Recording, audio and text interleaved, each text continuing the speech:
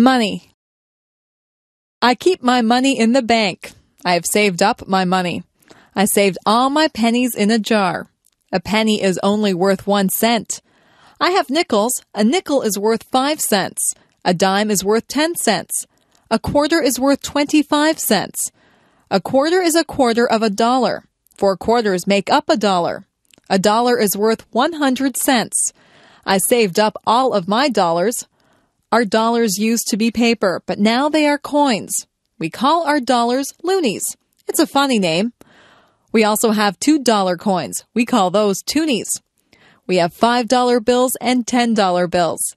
If you are lucky, you will have $20 bills, $50 bills, and even $100 bills. Our bills in Canada are different colors. That makes them easy to recognize if you go somewhere to spend them. It is wise to save your money.